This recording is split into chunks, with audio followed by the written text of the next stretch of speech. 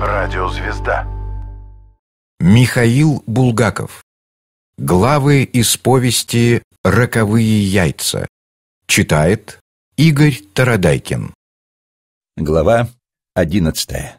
Бой и смерть.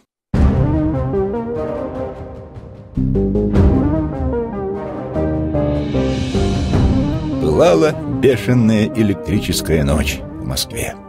Горели все огни, и в квартирах не было места, где бы не сияли лампы со сброшенными абажурами. Ни в одной квартире Москвы, насчитывающей 4 миллиона населения, не спал ни один человек, кроме неосмысленных детей. В квартирах ели и пили, как попало. В квартирах что-то выкрикивали, и поминутно искаженные лица выглядывали в окна во всех этажах, устремляя взор в небо, во всех направлениях, изрезанное прожекторами. На небе то и дело вспыхивали белые огни, отбрасывая летающие белые конусы на Москву, и исчезали, и гасли. В особенности страшно было на Тверской и Ямской. На Александровский вокзал каждые десять минут приходили поезда, сбитые как попало из товарных и разноклассных вагонов, и даже цистерн, облепленных обезумевшими людьми, и по Тверской и Ямской бежали густой кашей ехали в автобусах, ехали на крышах трамваев, давили друг друга и попадали под колеса. На вокзале то и дело вспыхивала трескучая, тревожная стрельба поверх толпы. Это воинские части останавливали панику сумасшедших, бегущих по стрелкам железных дорог из Смоленской губернии в Москву.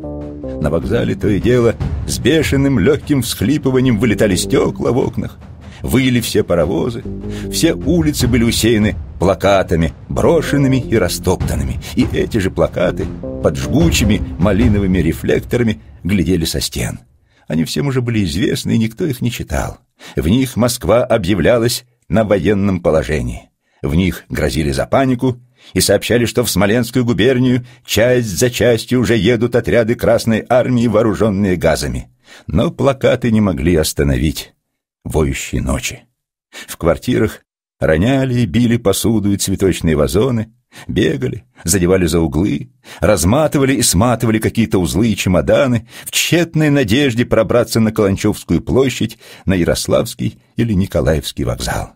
Увы, все вокзалы, ведущие на север и на восток, были оцеплены густейшим слоем пехоты, и громадные грузовики колыша и бренча цепями, доверху нагруженные ящиками, поверх которых сидели армейцы в остроконечных шлемах, ощетинившиеся во все стороны штыками, увозили запасы золотых монет из подвалов Народного комиссариата финансов и громадные ящики с надписью «Осторожно! Третьяковская галерея». Машины рявкали и бегали по всей Москве. Очень далеко на небе дрожал отцвет пожара, и слышались, колыша густую черноту августа, беспрерывные удары пушек. Под утро по совершенно бессонной Москве, не потушившей ни одного огня, вверх по Тверской, сметая все встречное, что жалось в подъезды и витрины, выдавливая стекла, прошла многотысячная, стрекочущая копытами по торцам змея конной армии. Малиновые башлыки мотались концами на серых спинах, и кончики пик кололи небо. Толпа, мечущаяся и воющая, как будто ожила сразу, увидав ломящиеся вперед, рассекающее расплеснутое варево безумия шеренги. В толпе на тротуарах начали призывно, с надеждой выть. «Да здравствует конная армия!» — кричали иступленные женские голоса. «Да здравствует!» — отзывались мужчины. «Задавят, давят!» Выли где-то. «Помогите!» — кричали с тротуара. Коробки папирос, серебряные деньги, часы полетели в шеренги с тротуара. Какие-то женщины выскакивали на мостовую и, рискуя костями, плелись с боков конского строя, цепляясь за стремена и целуя их. В беспрерывном стрекоте копыт изредка взмывали голоса взводных. «Короче, повод!» Где-то пели — весело и разухабисто. Из коней смотрели в зыбком рекламном свете лица в заломленных малиновых шапках. То и дело, прерывая шеренги конных с открытыми лицами, шли на конях же странные фигуры в странных чедрах с отводными за спину трубками и с баллонами на ремнях за спиной. За ними ползли громадные цистерны автомобили с длиннейшими рукавами и шлангами, точно на пожарных повозках, и тяжелые, раздавливающие торцы, наглухо закрытые и светящиеся узенькими бойницами танки на гусеничных лапах. Прерывались шеренги конных, и шли автомобили, зашитые наглухо в серую броню и с теми же трубками, торчащими наружу, и белыми нарисованными черепами на боках с надписью «ГАЗ Добрахим». «Выручайте, братцы!» — завывали с тротуаров. «Бейте гадов! Спасайте Москву! Мать! Мать!» перекатывалась по рядам. Папиросы пачками прыгали в освещенном ночном воздухе, и белые зубы скалились на ошалевших людей и коней. По рядам разливалось глухое и щиплющее сердце пение. Ни туз, ни дама, ни валет, побьем мы гадов без сомнения, четыре сбоку ваших нет. Гудящие раскаты «Ура!» выплывали над всей этой кашей, потому что пронесся слух, что впереди шеренг на лошади, в таком же малиновом башлыке, как и все всадники, едет ставший легендарным десять лет назад постаревший и посидевший командир конной громады. Толпа завывала, и в небо улетал, немного успокаивая метущиеся сердца, гул. Ура! Ура! Институт был скупо освещен. События в него долетали только отдельными, смутными, и глухими отзвуками. Раз под огненными часами близ манежа грохнул веером залп. Это расстреляли на месте мародеров, пытавшихся ограбить квартиру на Волхонке. Машинного движения на улице здесь было мало. Оно все сбивалось к вокзалам. В кабинете профессора, где тускло горела одна лампа, отбрасывая пучок на стол, Персиков сидел, положив голову на руки и молчал. Слоистый дым веял вокруг него. Луч в ящике погас. В террариях лягушки молчали, потому что уже спали. Профессор не работал и не читал. В стороне, под левым его локтем, лежал вечерний выпуск телеграмм на узкой полосе, сообщавший, что Смоленск горит весь, и что артиллерия обстреливает Можайский лес по квадратам, громя залежи крокодильих яиц, разложенных во всех сырых оврагах.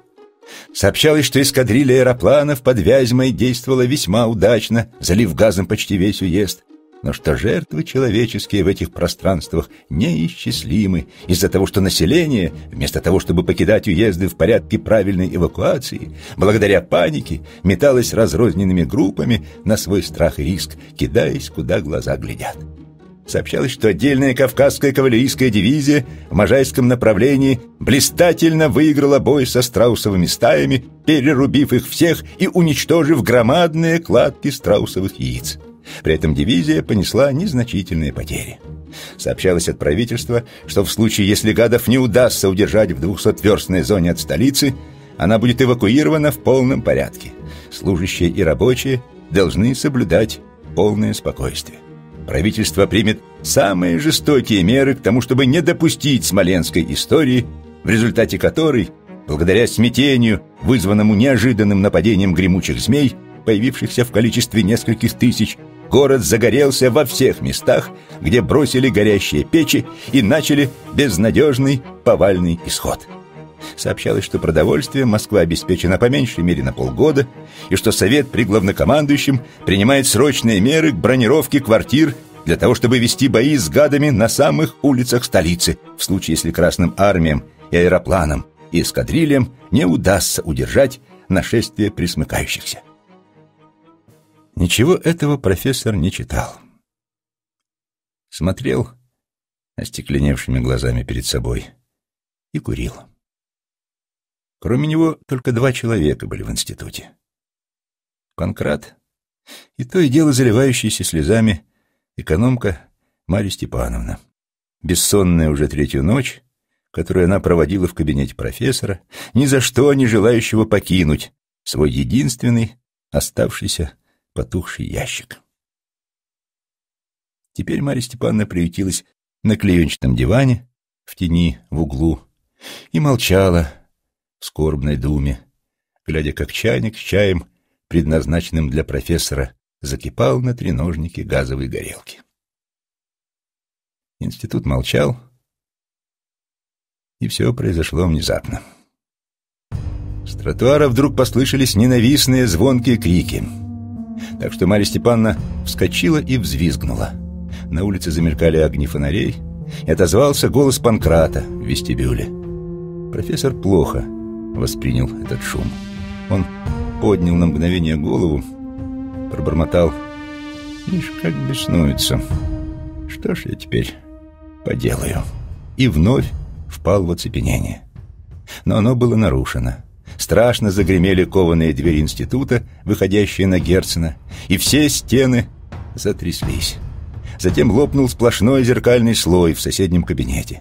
Зазвенело и высыпалось стекло в кабинете профессора, и серый булыжник прыгнул в окно, развалив стеклянный стол.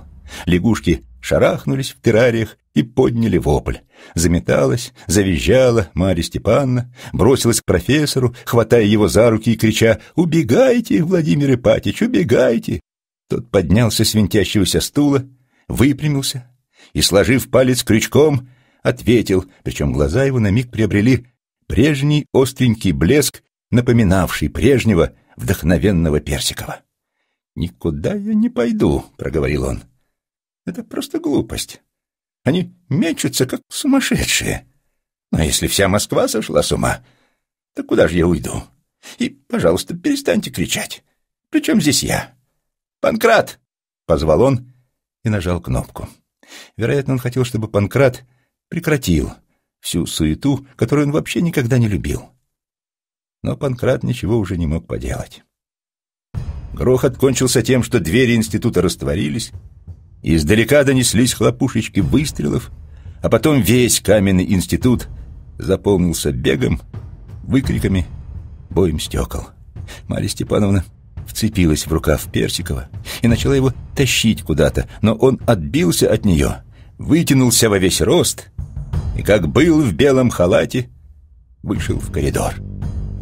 «Ну?» — спросил он. Двери распахнулись, и первое, что появилось в дверях, это спина военного с малиновым шевроном и звездой на левом рукаве.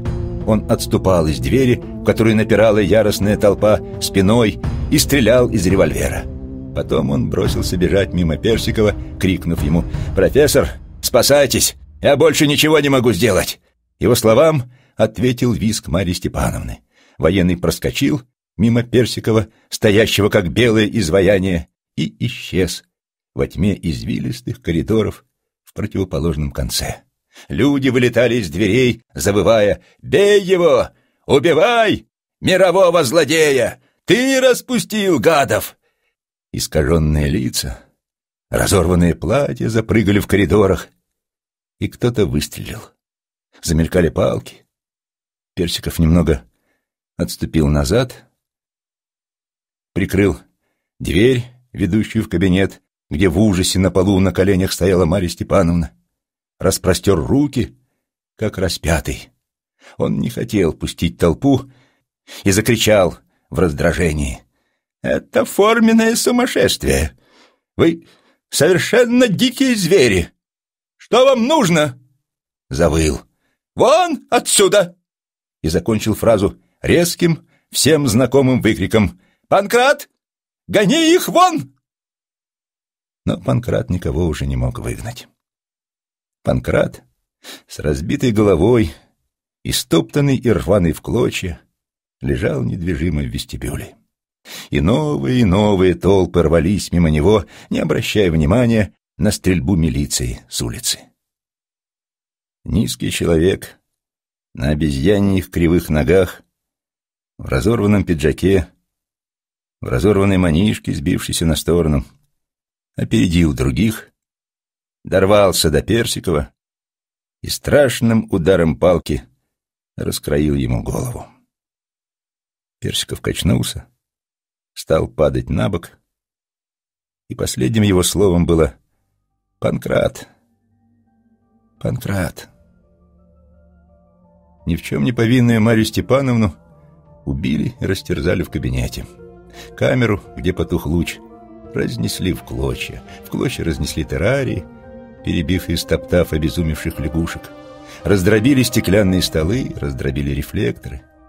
А через час Институт пылал, возле него валялись трупы, оцепленные шеренгой вооруженных электрическими револьверами. И пожарные автомобили, насасывая воду из кранов, лили струи во все окна, из которых, гудя, длинно выбивалось пламя.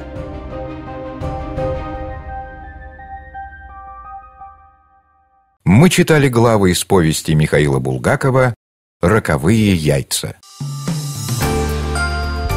Радиозвезда.